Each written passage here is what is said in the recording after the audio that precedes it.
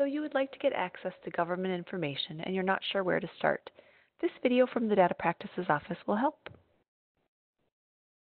In Minnesota, we call information that government collects, creates, receives, maintains, or disseminates government data. Government data could be contained in paper files, a video, a CD-ROM or thumb drive, emails, or even maps. A data request is a formal request for information from a government entity in Minnesota that triggers its obligations to respond. In Minnesota, we have a law called the Minnesota Government Data Practices Act, or Data Practices Act for short. It lays out the framework for getting access to government information. The law gives you the right to access public information and information about you by either inspecting or getting copies. This law does not apply to the courts or the legislature. Those bodies have their own rules of access. The Data Practices Act applies to cities, counties, state agencies, school districts, and other government bodies created in law. The first step to getting the information you want is to make sure that you know how, where, and to whom to send your request. The law helps us with this. The law requires each government entity to have written policies that walk requesters through how to make a data request. Many entities have posted their policies online. For those entities that do not post their policies online, you will need to contact the entity. Entities are required to give out free copies of their policies or have the policies posted in a conspicuous place within the entity. Some policies include a form that you can fill out.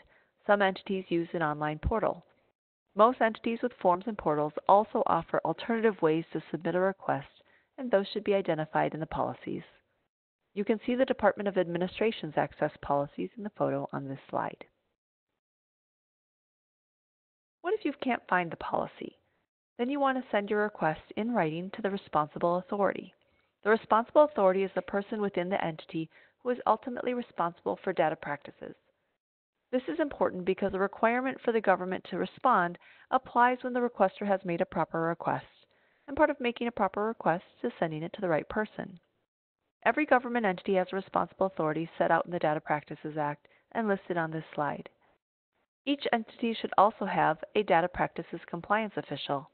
In smaller entities, the data practices compliance official and the responsible authority might be the same person.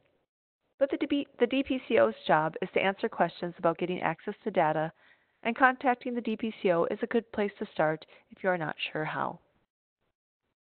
When making your request, make sure you are asking for information or data under the Data Practices Act or Chapter 13 and not FOIA. FOIA, or the Federal the Freedom of Information Act is a federal law that only applies to federal agencies. You can always inspect data for free. If you want copies, you may be required to pay for them. So in your request, make sure you state whether you want to inspect or copies. If you are asking for public data, the government cannot ask you why you want it or ask you to identify yourself. You may choose to provide some identifying information for contact purposes.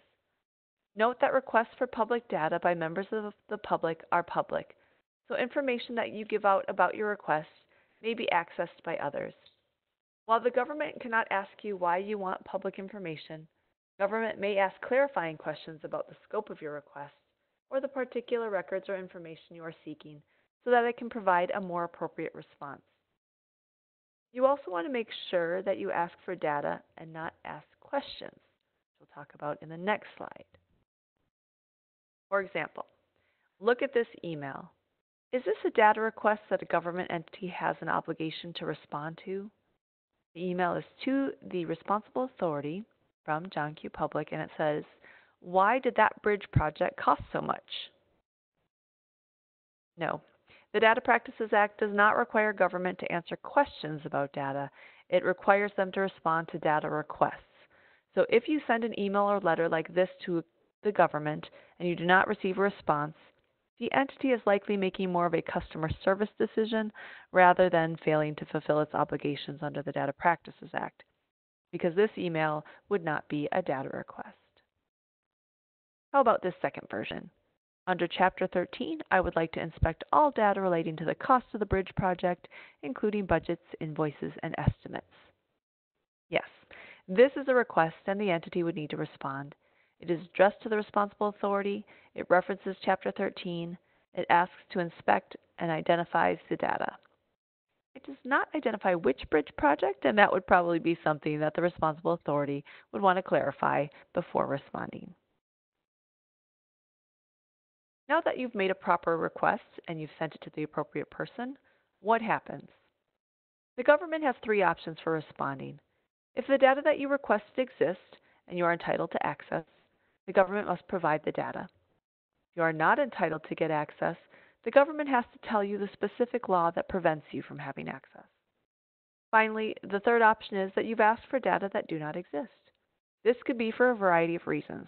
Perhaps the data did exist but have been destroyed, or it could be that government simply does not create or maintain the kind of information that you requested, which we will discuss in the next slide. It almost goes without saying that no response is not an appropriate response. If you have submitted a request to the appropriate person, the government must respond. However, the Data Practices Act does not require entities to acknowledge that a request has been received, nor does it require communication while the government is fulfilling the request. As a best practice and a customer service, an entity might choose to contact a requester while the request is pending. You can always contact the DPCO, the Data Practices Compliance Official, with any status questions. As we just went over, if data do not exist, government does not have an obligation to provide requested data, and that is because entities are not required to create data in response to a data request generally. You have the right to access government information in the format in which entities maintain it. So if you ask for an Excel spreadsheet, but government maintains the information in paper, the government is not required to create an electronic spreadsheet for you. This also commonly happens when data requesters ask for lists. Sometimes government maintains lists and other times they don't. So if you ask for a list and it's not one that government maintains, they don't have to create it. They may also see some value in that type of list, so they may choose to create it, but that's outside of the Data Practices Act, and government isn't obligated to create data in those situations. You also have the right to have data explained to you. This would include technical terms and abbreviations.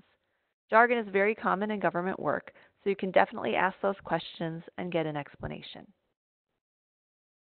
Resp how long will it take? Response times differ depending on the requester and the request. So if you're asking for public data, there is not a specific number of days in which a government entity must respond. Government needs to respond in a an appropriate and prompt, reasonable amount of time. What does that mean? It likely depends on the situation and the amount of data being requested and how complex the, the request is. So it will vary from request to request and entity to entity. On the other hand, if you are the subject of the data, government must respond immediately if possible or within 10 business days. How much will it cost? Remember, inspection is always free, so as a requester, you can always go into an entity's office and look at the data. The Commissioner of Administration has also said that, except in limited circumstances, you can take photos of the data you are inspecting, and that is still free. If you want the government to make you a copy, then they can charge you according to the table here. If you have questions about your charges, you can contact the Data Practices Compliance Official at the entity for an explanation, or you can contact our office and we can look at the charges together. As I mentioned, if you are the subject of the information, then you have slightly different rights than requesters who want public data. As seen in the previous slides, there are differences in time limits and in copy cost charges. Another important difference is if you ask for data about yourself, the government does not have to provide you the same data within a six month period unless the data somehow changes. So, for instance, if you are a government employee and you want your personnel file, you can have it, but then if you ask for it again within that six month period and nothing has changed, your employer does not have to provide you access. However, if in the interim you have had a performance review and you want a copy of that, then the government would have to provide it even if it's in, within that six months. Note also that if you want access to private data about yourself, you will need to verify your identity, and that is a difference from requesters who are requesting public data. What if your request for access has been denied? If they haven't already provided it, you can ask the entity to provide the basis in writing.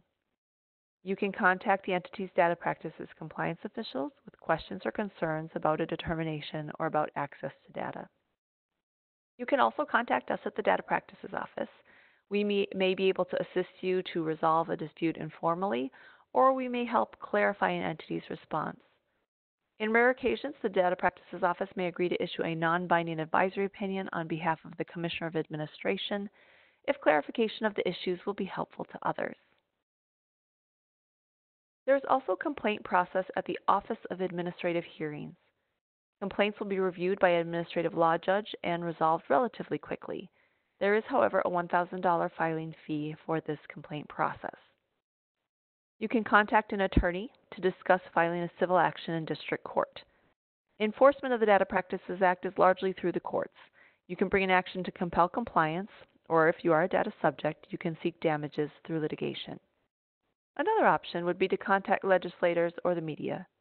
If the issues related to your request are a matter of public concern, or you don't agree with how the law is written, consider educating both lawmakers and your fellow citizens by alerting them to the problem. Sometimes the court of public opinion can be very effective. We have many more resources on our website, including a sample data request letter that you may download and use. I'll show you how to locate it on the Data Practices Office website.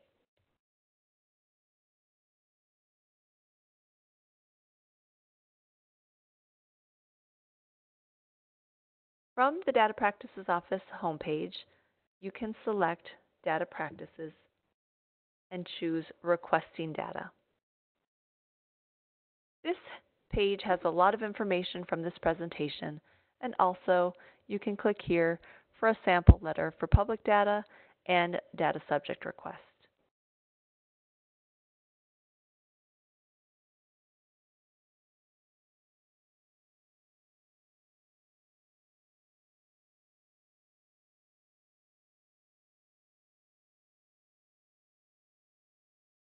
We hope that this presentation has been helpful and you now know how to make a data request. If you have questions about how to get access to data or an entity's response to your data request, please feel free to contact the Data Practices Office.